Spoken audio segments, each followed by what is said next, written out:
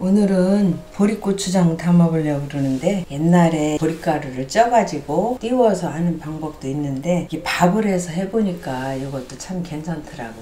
그래서 오늘은 누구나 쉽게 할 수 있는 그런 방법으로 보리고추장 한번 만들어 보려고 그러거든. 보리가 지금 이게 500g 메주가루 이것도 500g 이걸로 담아보려고 그래. 그러니까 보리고추장 하면 사람들이 되게 어렵게 생각해. 그래서 뭐, 어, 이 보리가루를 빻아야 되나? 뭐 그런 생각이 있는데 빻지 않고 그냥 이 보리밥을 해서 삭혀서 하는 방법으로 이건 너무 쉬워갖고 누구나 쉽게 할 수 있는 그런 방법이야. 먼저 이제 이 보리쌀을 먼저 씻어야겠지? 이게 500g이거든. 500g.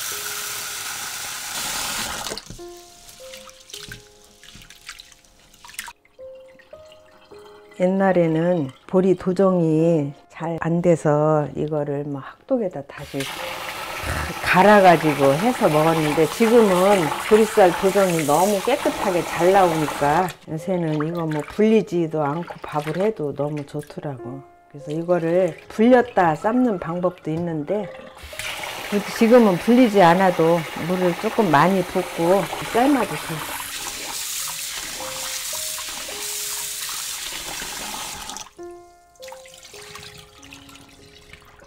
자, 이걸 이제 빨리 하기 위해서 오늘은 그냥 압력솥에다 이것도 할 거야. 이거는 지금 불리지 않은 상태인데 일반 솥에다 한다면 불려서 하면 빨리 퍼져서 좋긴 하지. 네. 자, 물 지금 1리터. 이거는 쌀보다 물을 훨씬 많이 먹어. 1리터 넣으면 조금 데지니까 200ml만 더 넣어. 200ml. 이게 이렇게 푹 퍼지게 해야 되기 때문에 물 많이 잡아서 넣어야 돼. 잡곡으로 할까? 잡곡.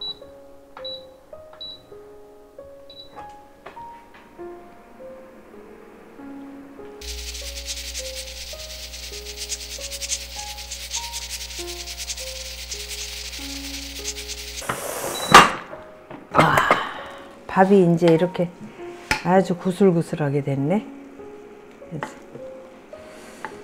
자, 요거를 이제 식힌 다음에 메주가루하고 소금물하고 넣어서 놔두면 돼. 하루 정도 놔두면 이제 삭히는 거 봐가지고 그때 이제 소금 간 더하고 고춧가루 넣어서 버무려 놓으면 끝나는 거야. 그게 굉장히 쉽지. 밥을 다 식힌 다음에 이렇게 옮겨 담고 열무김치랑 비벼 먹고 싶네.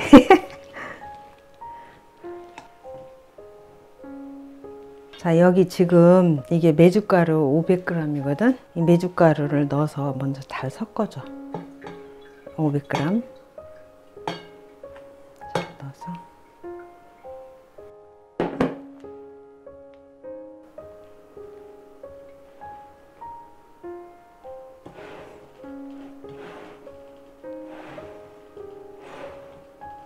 자 이걸 먼저 잘 섞어 놓은 다음에 물이 이게 1.2리터거든. 1200ml.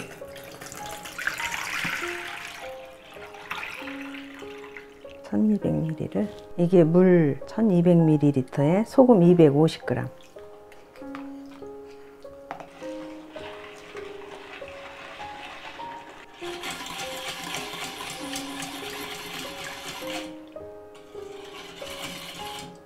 이걸 다 녹였으면 여기다 이제 부어줘야 돼.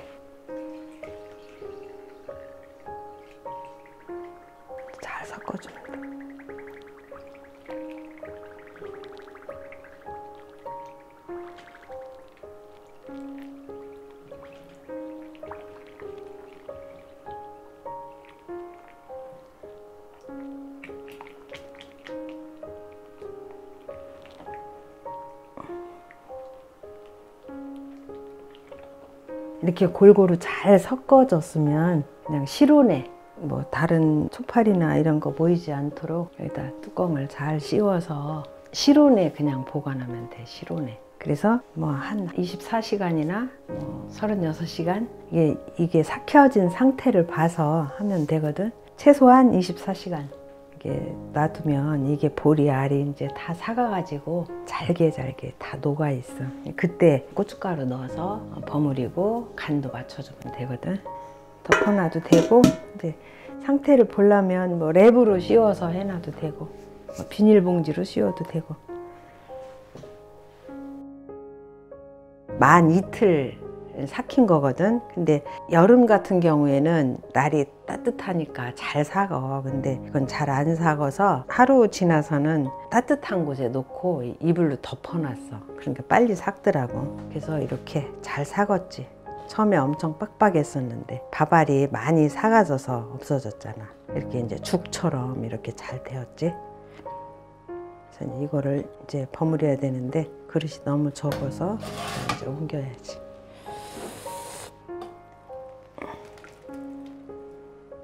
밥알이 아직 있는 것 같지만 이제 버무리는 과정에서 으깨지기도 하고 고추장 버무려서 해놓으면 나중에는 이제 밥알 안 보여. 이걸 이렇게 해주면 그냥 두는 것보다 이제 보리 알이 조금 더 으깨지겠지. 근데 삭은 상태니까. 자, 이제 여기에다가 이제 고춧가루를 넣어야 되는데 여기 지금 너무 된 편이야. 근데 이게 지금 간이 아주 짭짤하거든. 소금은 더 안 넣어도 될 것 같은데 이거를 그대로 한다면 너무 되잖아. 그래서 여기다가 이제 좀 물을 보충해 줘야 될 것 같아. 그래서 500ml 끓였어. 500ml 끓여서 식힌 물 여기다 첨가해주고 이렇게 버무리는 과정에서 물이 조금 적다 싶으면 물을 끓여서 식혀가지고 여기다 부어주면 돼. 그래서 이렇게 부어서 섞어주고 자 이제 고춧가루를 여기에 넣어줘야 되는데 이게 지금 500g이야 500g 500g인데 에, 이거를 한번 내가 컵으로 계량을 해보니까 플라스틱 컵으로 한 컵을 딱 이렇게 하니까 딱 100g 나오네.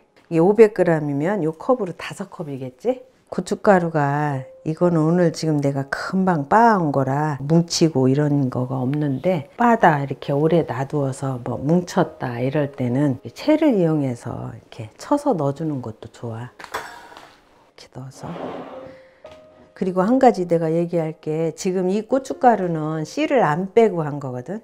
씨를 안 빼고 한 거는 색깔이 조금 곱지 않은데 나는 또 영양을 생각해서 씨를 빼면 아까운 것 같아서 그냥 다 씨를 넣어서 했거든. 이렇게 쳐서 이렇게 해주면 훨씬 깨끗하지. 저기 섞을 때도 좋고.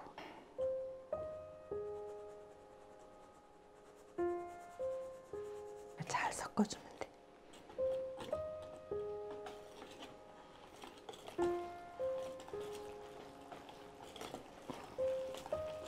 이렇게 잘 섞어서 두면 나중에는 이제 더 사가져서 밥알이 잘 안 보여. 더 이제 사가지면 다른 찹쌀고추장은 엿기름을 넣어서 삭혀서 만들잖아. 근데 이 보리고추장은 엿기름이 들어가지 않고 담는 게 보리고추장의 특징인데 내가 이거를 생각한 거는 음, 그전에는 이거를 가루를 만들어 가지고 시루에다 쪄 가지고 그걸 띄워서 했어. 근데 그렇게 하려면 가루도 빻아야지 여러 가지 불편하잖아. 그래서 내가 생각해낸 게 이거거든. 근데 편하게 담을 수 있고 맛있고 좋거든. 그래서 보리고추장 아 사람들이 맛있다고는 하는데 어떻게 담느냐고 담을 줄 몰라서 어, 그러는데 이제 뭐 가루로 해서 시루에 찌고 이러면 굉장히 어, 불편하고 힘드는데 이렇게 만들면 엄청 쉽고 좋아. 그래서 이거는 지금 빛깔이 그렇게 곱질 않거든. 아 나는 좀 더 빨갛게 하고 싶다. 그러면 고춧가루를 더 넣는 방법도 있고 이거를 아주 곱게 해야 되겠다. 이러면 씨를 빼고 하면은 빛깔이 좋지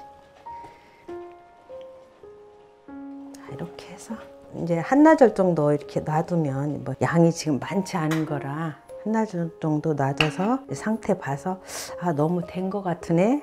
너무 질구나 이럴 때는 이제 그때 조금 조절을 해줘야지 한나절 놔뒀다가 여기다 뭐 간장을 조금 넣어서 섞어주든가 아니면 매실이나 조청을 넣어서 묽게 해주는 방법도 있고 어, 너무 질다 그럴 때는 뭐 메주가루나 고춧가루 이런 걸 더 보충해서 하는 방법도 있어 근데 간은 이렇게 봤을 때 아 조금 짭짤하네 이 정도면 되겠지? 너무 이게 고추장이 짜도 안 좋아. 그리고 이제 지금은 별로 문제가 없는 게 옛날에는 냉장고가 없잖아. 그래서 그냥 실온에 넣으면 조금 싱겁다 그러면 부글부글 끓어오르고 맛이 쉬어지고 그러는데 요즘은 냉장고가 있잖아. 그래서 냉장고에 보관하고 먹으면 그렇게 간이 너무 세지 않아도 이렇게 고추장을 담아 보니까 외삼촌 같은 경우는 요대로가 좋다 그래. 이게 다르면 안 좋아하고 요대로가 좋다 그러는데 또 단맛을 좋아하는 사람들이 있잖아. 그래서 단맛을 좋아하는 사람이 있다면 여기다 조청을 조금 넣어주거나 매실액을 넣어서 하는 방법도 괜찮아. 근데 여기까지 삭혀서 하는 거 여기까지 알았으면 여기에다가 난 달게 먹고 싶다. 그러면 조청을 더 넣든지 매실액을 넣어서 조정해서 먹는 방법도 있어. 근데 그래서 이제 이렇게 해서 한나절 놔둬. 고추장 항아리로 썼던 건데 그래도 이제 소독은 해줘야지. 그냥 일반 시판 식초로 이렇게 해서 이렇게 해서 이렇게 잘 발라줘. 이렇게. 바깥으로 이렇게. 이렇게 해서 한 10분 동안 이렇게 놔뒀다가 물기 따라내고 쓰면 돼. 이거를 따라내. 유일하게 고추장 담는데 보리고추장은 엿기름을 안 써. 그래서 뭐 그걸 시루에다 쪄갖고 했는데 이렇게 밥을 해서 하는 방법도 있으니까 쉽게 담아 먹으면 좋아.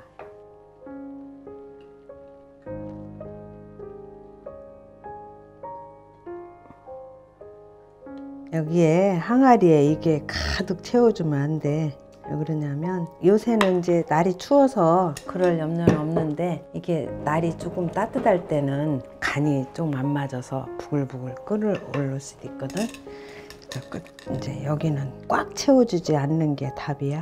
이제 요새는 추워서 밖에 놓으면 그럴 염려는 없을 것 같은데 항아리가 이렇게 보리고추장 완성했습니다. 엿기름 없이 밥으로 해서 담는 보리고추장 한번 해보세요. 정말 맛있습니다.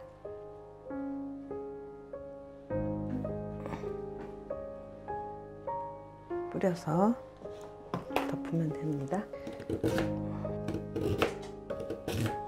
자, 이 고추장 한번 먹어볼까요?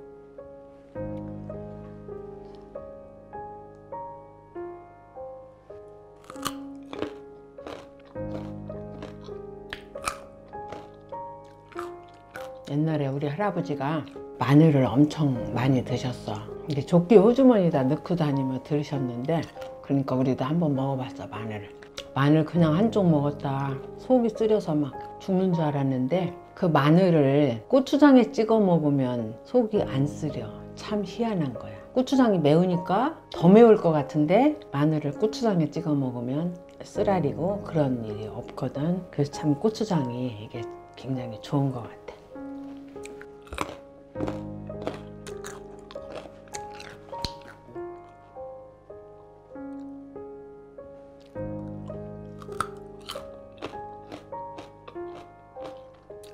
이렇게 했으면 이렇게 이런 뚜껑으로 덮어서 보관하면 편해. 여기 요새는 이런 뚜껑이 나와서 엄청 좋은데 뚜껑이 좀 크네.